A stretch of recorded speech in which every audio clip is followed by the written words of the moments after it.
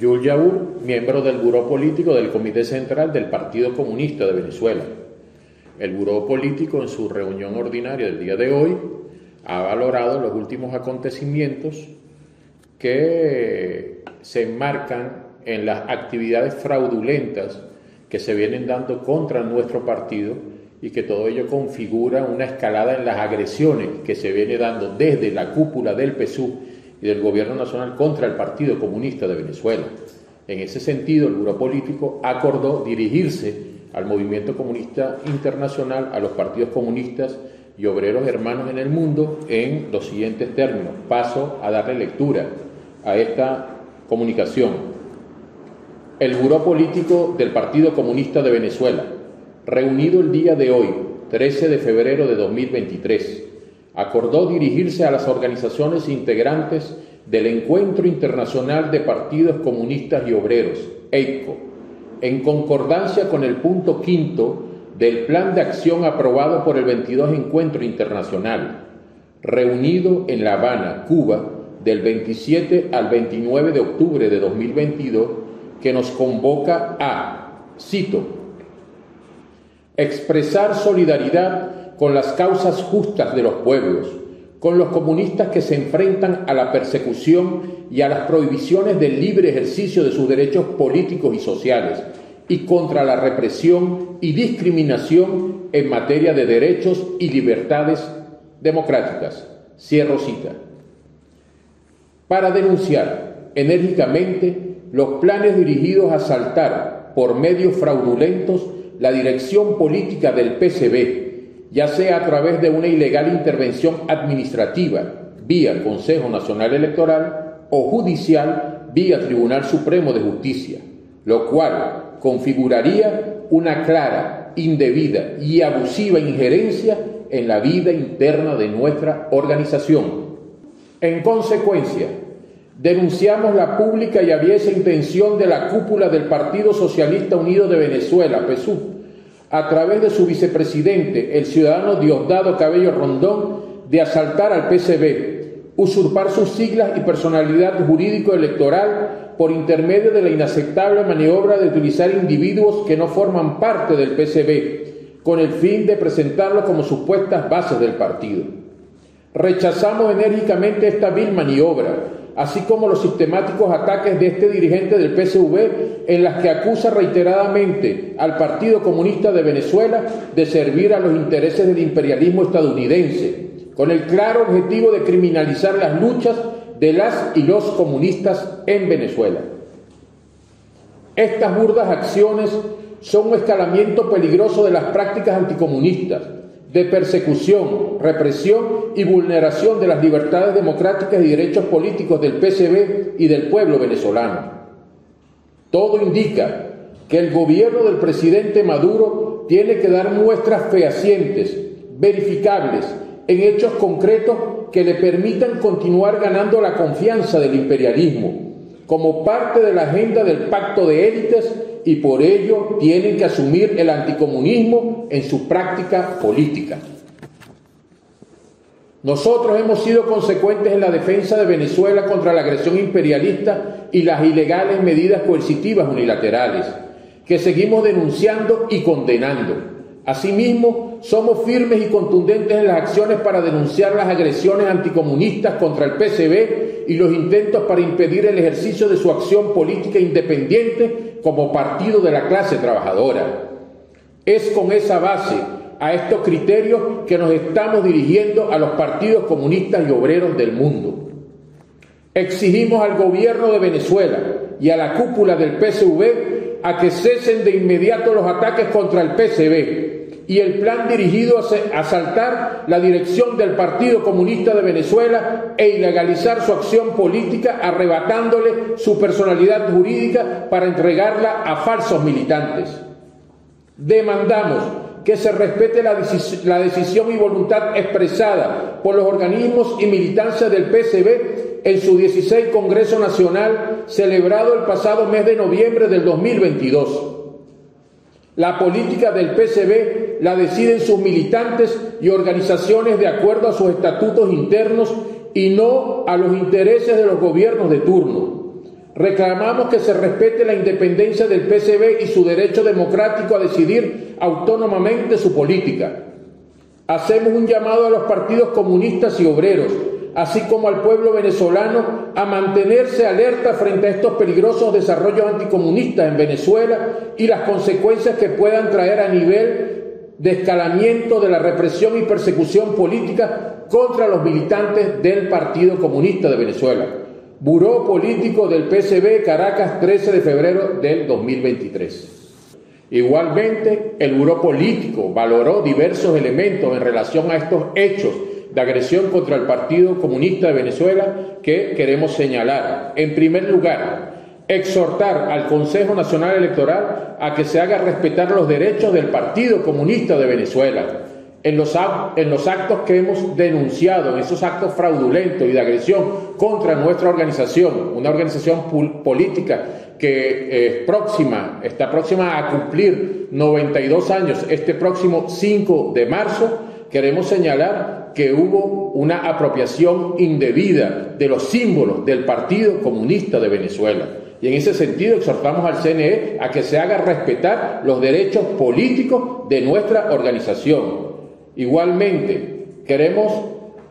hacer referencia a toda la cobertura mediática que utilizó el gobierno orientando a medios de comunicación del sistema público, de esos medios de comunicación y a medios de comunicación privados que hicieron cobertura de, esa, de, de esos actos fraudulentos, queremos señalar que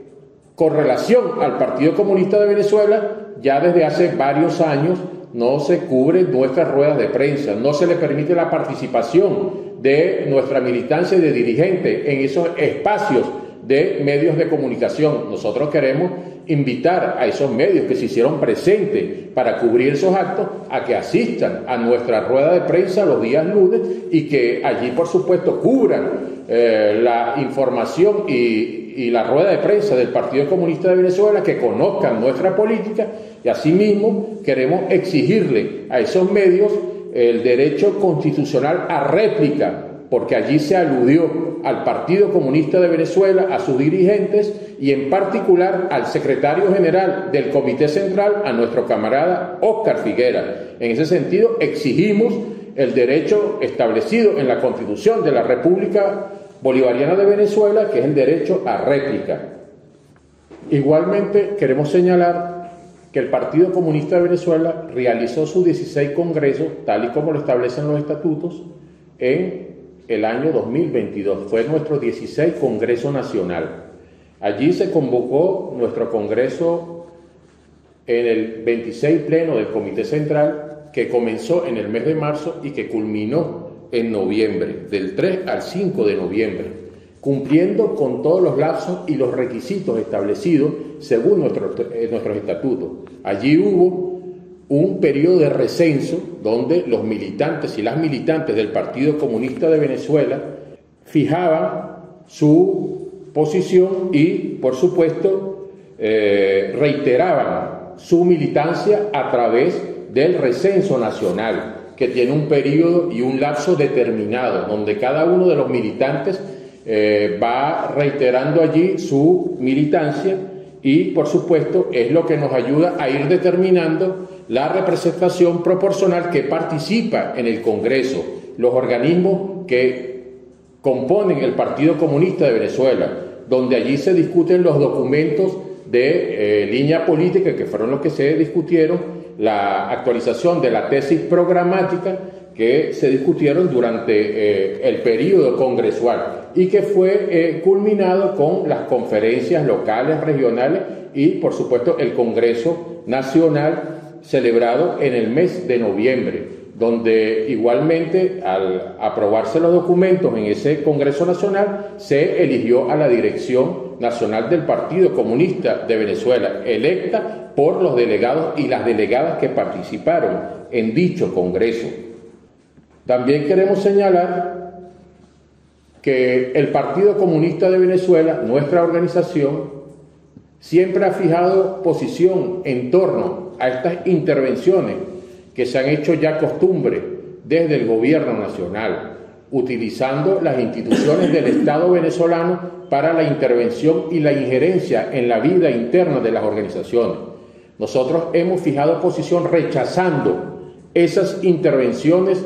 ya sean contra partidos de derecha o partidos de izquierda. En cada una de esas oportunidades, el Partido Comunista de Venezuela fijó posición en torno a esas intervenciones y esa injerencia por afectar la vida interna de esos partidos y por representar indudablemente que una violación a las organizaciones políticas, a su autonomía eh, y su funcionamiento interno establecido en los estatutos de las organizaciones políticas. Nosotros hemos sido firmes, así como nosotros condenamos y rechazamos, rechazamos esas injerencias en su momento, hoy rechazamos cualquier tipo de injerencia contra nuestra organización, rechazamos cualquier tipo de violación de derechos políticos y sociales contra el Partido Comunista de Venezuela, como lo hemos hecho históricamente con otros partidos que han sufrido esas intervenciones y esas injerencias. Para nosotros, el ejercicio de la política debe ser un ejercicio responsable, un ejercicio ético. Por eso que cada una de las eh, declaraciones del Partido Comunista de Venezuela, por eso que la línea política del Partido Comunista de Venezuela se encuentra establecida en nuestros documentos, es pública, eh, es de consulta pública y no eh, la forma de hacer política de otras organizaciones que son irresponsables, arbitrarias, autoritarias. Nosotros queremos hacer un llamado a que hoy eh, estas acciones que se están dando en contra del Partido Comunista de Venezuela, que es una institución política en nuestro país, cesen y que se respeten los derechos de esta organización, de nuestra organización. El objetivo de, esta, de estas agresiones eh, buscan, por supuesto, inhabilitar a nuestro partido, buscan despojar de la tarjeta electoral al Partido Comunista de Venezuela, que hoy es la única organización política que se encuentra luchando eh, al lado de los trabajadores y trabajadoras en esas luchas por sus reivindicaciones políticas, sociales y económicas. El Partido Comunista de Venezuela, en su política autónoma, en su política independiente, eh, siguiendo nuestros principios fundamentales de defensa de los derechos de los trabajadores y trabajadoras, hoy el gobierno del presidente Nicolás Maduro y la cúpula del PSU busca doblegar, busca quebrar esa política y por supuesto frente a ello, que donde no han podido resquebrajar, ni dividir, ni fraccionar a la dirección del Partido Comunista de Venezuela, ni a su militancia, que era uno de los objetivos que venían persiguiendo con la realización de nuestro 16 Congreso, entonces buscan tratar de crear un partido comunista paralelo, un partido comunista con mercenarios al servicio de esa política que le sirvan a, esas políticas entreguistas del gobierno del presidente Nicolás Maduro y, establecido en, ese, en esa agenda del pacto de élites que ha denunciado el Partido Comunista de Venezuela. Nosotros queremos señalar que no nos sacarán del rumbo no nos sacarán de ese rumbo que ratificó el 16 Congreso de nuestro partido, que es la de profundizar la ruptura con el gobierno del presidente Nicolás Maduro y con su política antipopular, antiobrera y antidemocrática. Esa línea política que reafirmó nuestro Congreso el Partido Comunista de Venezuela, el Comité Central, la militancia del Partido Comunista de Venezuela, la Juventud Comunista de Venezuela, hoy la impulsa con fuerza. Hoy la impulsa en la calle junto a los trabajadores y trabajadoras. Y haremos nuestros mejores esfuerzos porque esos espacios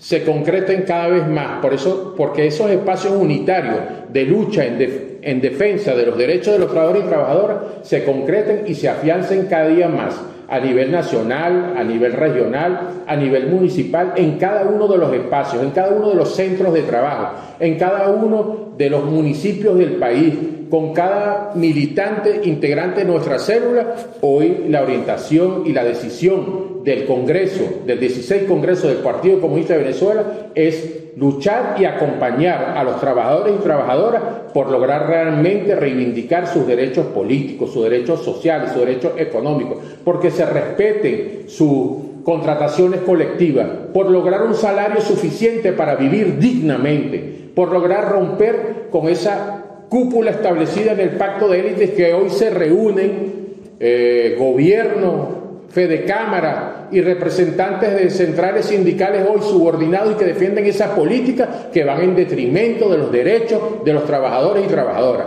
Vimos las recientes declaraciones de esas llamadas reuniones tripartitas donde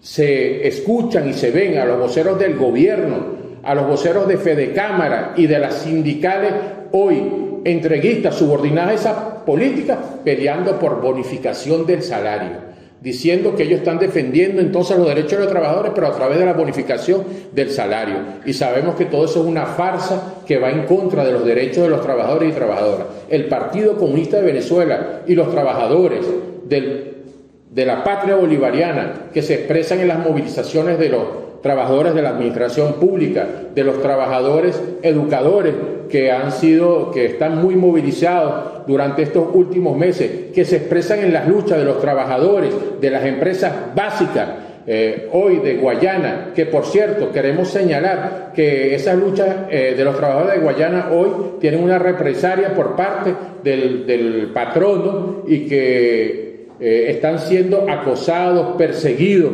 allí en Guayana eh, esas luchas que comenzaron con mucha fuerza a principios de este año, el 9 de enero, comenzaron allí en Sidor y también en otras empresas como Ferrominera, hoy están siendo entonces acosados, perseguidos. Queremos manifestar nuestra solidaridad desde el Partido Comunista de Venezuela y ratificar que el Partido de la Clase Obrera, el Partido Comunista de Venezuela, estará está, estará y seguirá en las calles comprometido con esas luchas en las defensas de los trabajadores y trabajadoras.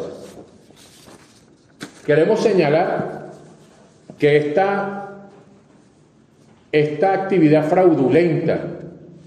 de estos mercenarios que se embarcaron en este plan de asaltar la dirección del Partido Comunista de Venezuela por la vía fraudulenta están completamente identificados por nuestro pueblo, están identificados por nuestra organización, el Partido Comunista de Venezuela y el pueblo de Venezuela sabe quiénes son. Allí donde se celebraron estas actividades, en Monagas, en Maturín, el movimiento popular, las organizaciones revolucionarias y el Partido Comunista de Venezuela los tienen completamente identificados y conocen de su trayectoria y conocen de su historia. Cuando nosotros veíamos allí en esas declaraciones que daban eh, y las figuras que aparecían allí, había caras que eh, fueron identificadas por el Partido Comunista de Venezuela, por las eh, investigaciones que se hicieron y aparecen funcionarios de instituciones del Estado venezolano y militantes públicos del partido de gobierno, del Partido Socialista Unido de Venezuela. Es el caso de, por ejemplo, Carlos Fermín, es un funcionario del Consejo Nacional Electoral en el municipio Zamora de Monagas. Y cuando revisamos sus cuentas en redes sociales, su trayectoria y las cuentas que posee en las redes sociales, verificamos que hace menos de un año estaba creando un partido de derecha llamado Proyecto de Reconstrucción Nacional. Este es uno de los personeros que se arroga el ser militante de supuestamente del Partido Comunista de Venezuela y parece ser que es el que se está disputando también ser el máximo dirigente de ese, de ese parapeto que están montando, porque también ellos tienen su disputa allí, a ver quién va a dirigir ese parapeto al servicio del gobierno. También se encuentra una funcionaria de nombre Griseldis Beatriz Herrera Romero, según la identidad 13.470.410. Es funcionaria activa del Consejo Nacional Electoral y que se encuentra en estos momentos en comisión de servicio en el despacho del gobernador del PSU, Ernesto Luna. Ella actúa también como asesora jurídica en esa gobernación y según el comité regional de eh, nuestro partido en el estado de Monagas eh, y las investigaciones que, que se han hecho, ella se encargó de montar el cónclave fraudulento que se realizó en un lujoso hotel de Maturín. Por cierto, nos dicen que es muy caro ese hotel. Ella es militante del PSU. Igualmente queremos señalar a Joan Coraste, que salió declarando y diciendo que él estaba embaucado en ese cónclave. Eh, este señor es militante del PSU desde su fundación, desde hace más de 10 años viene militando en el PSV. Igualmente queremos señalar a Zoilo, Arostegui, cédula de identidad 11.776.796, quien cuando se hace la consulta en el sistema de carnetización del PSU aparece como militante de esa organización, todos ellos en Monaga. También queremos señalar a Carlos Figueroa, un autoproclamado junto a estos autoproclamados al mejor estilo guaidocista y al mejor estilo carmonista, así los queremos señalar, a ese mejor estilo que se autoproclaman, que por cierto parece que al gobierno le gustó esa política, porque es la política que aplicó el imperialismo estadounidense contra Venezuela, y parece que ellos le tomaron allí eh, esa pauta y les gustó y entonces están promoviendo autoproclamado. Bueno, este autoproclamado Carlos Figueroa, que se, que se señala como coordinador político del PCB en Miranda, es un ex candidato a alcalde de la organización UPP 89. Él se autodenomina coordinador político del PCB en Miranda, que por cierto, esa figura no aparece, no existe en las estructuras del Partido Comunista de Venezuela. ¿Existe en la del PSUV? No existe en la del PSUV, no, ni siquiera conocen cómo es la estructura ni cómo funciona la estructura del Partido Comunista de Venezuela, ni siquiera se tomaron la, eh, el, el tiempo para estudiar mínimamente cuáles son las estructuras del Partido Comunista de Venezuela y cómo funciona el Partido Comunista de Venezuela. Y salen con esto este, eh, con este show promovido desde la cúpula del PSU eh, para lograr, por supuesto, entonces eh, arrebatar y desplazar de manera fraudulenta la dirección del Partido Comunista de Venezuela. Frente a todos estos hechos, nosotros queremos señalar y, por supuesto, saludar de manera positiva, contundente, enérgica eh, a nuestras direcciones regionales,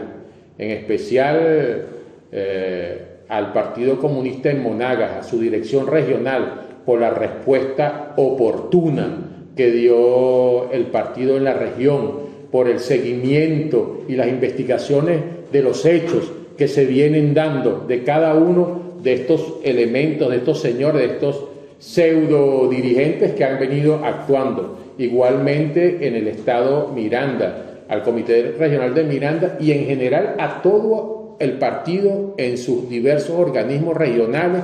eh, locales y en las células que se han pronunciado de manera pública rechazando este contundente, de manera contundente, esta acción fraudulenta contra el partido y ratificando y reiterando su compromiso en defensa del Partido Comunista de Venezuela. También queremos eh, saludar y agradecer todas las muestras de solidaridad a nivel internacional de partidos comunistas que se han expresado a través de misivas, comunicaciones y, que fueron reflejadas en redes sociales de las cuentas del Partido Comunista de Venezuela y del Movimiento Comunista Internacional, todas esas expresiones de solidaridad, de apoyo y de rechazo a esta política anticomunista del gobierno del presidente eh, Nicolás Maduro y eh, también saludar muy especial a los trabajadores y trabajadoras eh, de nuestra patria que eh, hoy salen a la defensa de su partido, hoy salen a la defensa del instrumento político de la clase obrera, que es el Partido Comunista de Venezuela, al movimiento popular eh, revolucionario, a los movimientos sociales que han expresado su solidaridad con nuestro partido y que han señalado que están dispuestos a defender al Partido Comunista de Venezuela frente a todas estas acciones en el terreno que sea, con las consecuencias que sea, y queremos señalarle hoy al pueblo venezolano, a toda Venezuela, a los trabajadores y trabajadoras, eh, al pueblo en general, que puede contar nuestro pueblo y la clase obrera con el Partido Comunista de Venezuela. Aquí hay un destacamento de comunistas venezolanos que a lo largo de 92 años han defendido el derecho de los trabajadores y trabajadoras. No renunciaremos a estas acciones y seguiremos impulsando nuestra política junto a los trabajadores y trabajadoras.